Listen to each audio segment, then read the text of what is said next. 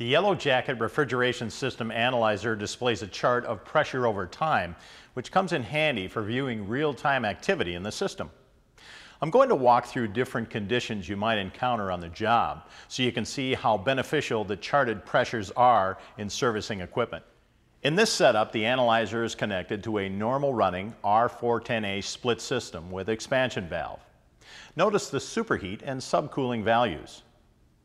The chart time is set to the two second option, so it's showing the last four minutes of pressure activity. You can see that the pressures have been stable during that time. It's good practice to allow the system readings to stabilize before making decisions to add charge, remove charge, or adjust the expansion valve. The pressure charts on the analyzer allow you to see with a single glance the stability of the system pressures. One example of system instability is thermal expansion valve hunting.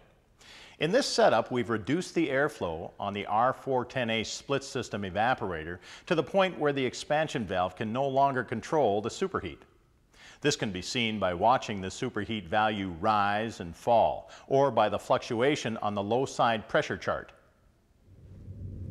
The pressure charts on the analyzer are also very useful for setting and checking pressure controls. In this setup, the analyzer is connected to an R409A commercial refrigeration unit. The refrigeration unit has been intentionally taken to high pressure cutout. Notice that the cutout point is indicated on the pressure chart by the drop in the high side pressure graph. By pressing hold and moving the cursor with the up left or down right keys, we can see the exact reading of the high pressure cutout point.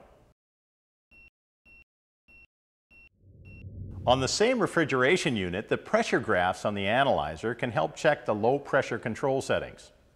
In this setup, we cycle the low pressure controls on and off by controlling the flow of liquid refrigerant to the evaporator. Notice that the cutout and cut-in points are indicated on the pressure chart by the rapid rise or fall in the low side pressure graph. By pressing hold and moving the cursor with the up left and down right keys, we can see exactly where the low pressure control is cutting out and back in.